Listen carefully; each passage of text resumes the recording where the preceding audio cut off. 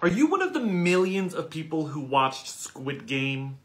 Are you a writer? Here are three lessons that writers can learn from Squid Game, and yes, some spoilers ahead. While a lot of death game genre shows employ stock, bland characters to just kill off by the dozen, Squid Game spends a lot of time in the first two episodes allowing us to know a few of the key characters and continues to develop them throughout the series so that when some of them die later, that matters. The stakes of the games matter. There's emotional depth to a story that might have otherwise been empty spectacle.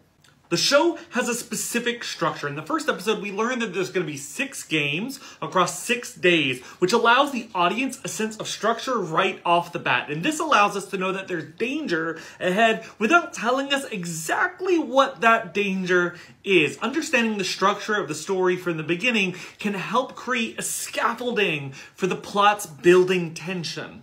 And finally, the show is more than just about some death game. The show reflects a deep anxiety about modern life, not just in South Korea, but around the world. A lot of people identify with the desperation of the characters, which makes us even more invested in the show. As writers, we can watch and enjoy media, but we can also learn lessons about storytelling, lessons we can carry into our own work.